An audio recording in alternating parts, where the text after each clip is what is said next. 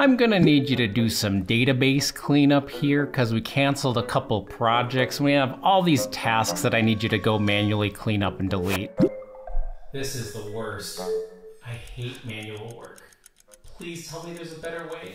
There is a better way to do this, and it's with an automation. Hi, I'm Dan Leeman from AutomationHelpers.com, and we help businesses like yours get up and running on Airtable and integrated with your business applications. Now, for this example, I'm going to use the project tracker template that Airtable has out of the box. This is going to work with any base that you create. You just need to change the tables that you're using. So if you want to follow along, you can use the same template. Okay, I have to be honest, I don't love the way these tables are named. We've got tasks, timelines, and assignees. This is really just tasks, we can think about it. And then we have overview, and overview is going to be our projects. So imagine we have projects here, and then we have tasks that are connected to or they're linked to their projects. So in this case, we have three different tasks that are associated with our project of brand refresh and design. So we'll essentially want to signal on our project that this project has been canceled, and then we'll want to have our automation go ahead and delete those children tasks. Over on our projects table, we're going to want to make a quick change to the status field.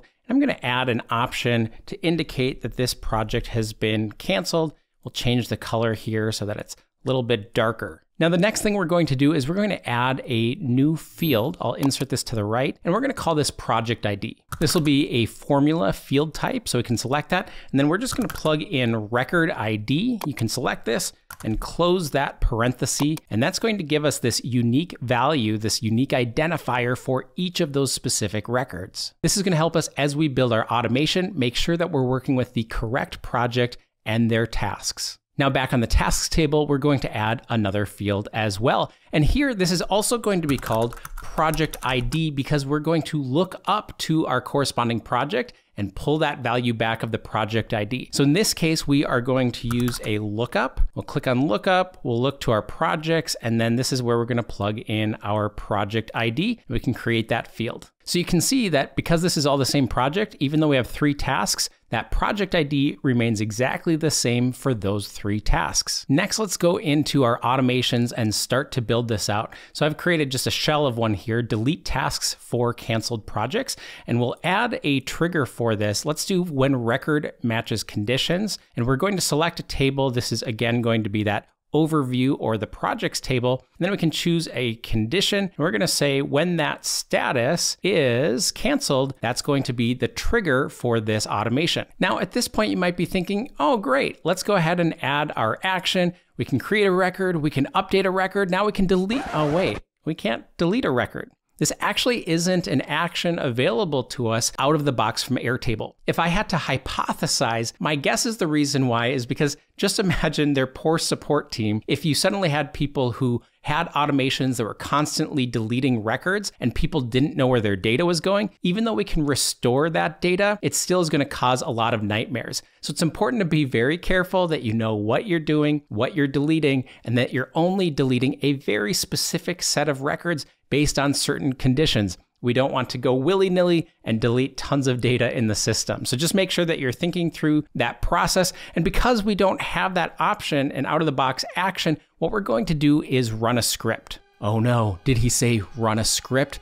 I don't know how to code. What am I going to do? We've got you covered. So if you want, you can click on the link below and we've got a bunch of templates. This is really simple. It's three lines, so you can just copy and paste this directly, but we've got some other templates on our website you might want to take a look at as well. So you can either copy and paste this information or you can go ahead and type it along with me in the video. Now, before we create our script, I'm actually going to run a find records step. If you've watched other videos or tutorials or searched in the community about how to do this, a lot of the other tutorials skip this step. I take a little bit of a difference of an approach here because I've seen a lot of solutions for this where essentially the solution's pretty hard coded. It's dependent on a checkbox being checked for this, or we can only have a certain kind of field or it works a certain kind of way. In our case, we want to make this more flexible. We want you as the user, as the admin of Airtable, to be able to update this how you want and the code stays pretty much the same. So by using a find record step, we could add additional conditions to this if we wanted. So for example, maybe you want to find the tasks and delete only the tasks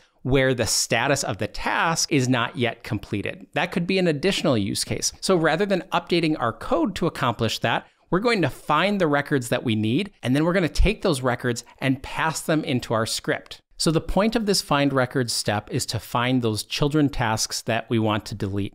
So the table that we're going to search from is going to be that tasks, timeline, and assignees. And then from here, we're going to find records based on a condition. Now, this is where it comes in handy to have those project ID fields that we added at the beginning. So I'm going to add a condition and we're going to say when the project ID contains, and then instead of doing a static value, we'll change this to dynamic and we'll say when this contains, and this is from the triggering step, we're looking for that project ID. So if the project ID from that initial triggering record matches the lookup value in those tasks, which it will, then those are the tasks that we want to delete. Let's go ahead and test our action to make sure that it finds these correctly, the tasks. You'll want to make sure that you have a project that's set to cancel. And here we go. It found those three tasks that are all connected to our triggering project. Cool. So at this point, we're ready for our script. So we're going to add another action here, and this will be to run a script. The first thing I'm going to do here is add an input variable, and I'm going to just call this record IDs. And what we're going to do is we're going to get those records from the find records step to be able to pass into this script to use. And so the value, we can click the little blue plus button we're going to choose that find records step. And from here, if you scroll down, there should be an option to make a new list of Airtable record IDs. So we don't need all the records themselves. We don't care about all the additional fields. At this point, we just want it to be a list or an array of those record IDs. So this should work perfectly. You can see here's a record ID, comma, another record ID. This is exactly what we want. We can delete out this top line of code. We don't need that. And then here is where you can use that template and copy and paste in this code. So we'll start with const and then table, and we'll set this equal to base. And then we've got base dot get table. And then in parentheses here, here's where we put in the name of the table itself. So here we can choose, this is nice. It gives us a little drop down here and we need to choose from the tasks table, not the projects table. So we've input that, make sure that we have it in quotes here and we'll put a semicolon. This step is to define the table that these tasks are a part of so that we can go ahead and delete them. Next, let's grab those record IDs. And instead of calling it record IDs, I'm gonna just call it records to delete, just to be clear about what we're doing here. Then we'll set this equal to our input dot config, and we can grab then the record IDs from this. So this now takes that list of record IDs that we just had, and the last step here is to call this table dot delete records async.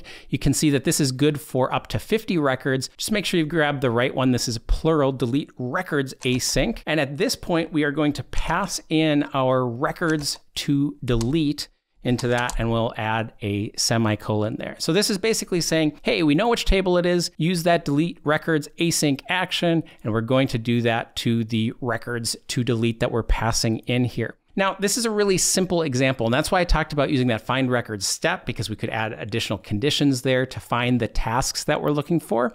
If you do need to extend this, there's lots of different things that we can do. So for example, this is limited to 50 tasks. If you need to iterate through more tasks, that's something that we can help extend for you as well if you have any questions about the script itself.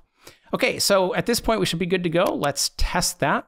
And our test ran successfully, so it should have deleted these. We're going to finish editing and then let's go ahead and turn this on. We should be good to go. And then I'm gonna change this project back to kickoff status. I'm gonna go into my trash real quick just to make sure, yep, so we actually deleted these. I'm gonna restore them. So we've got them back here.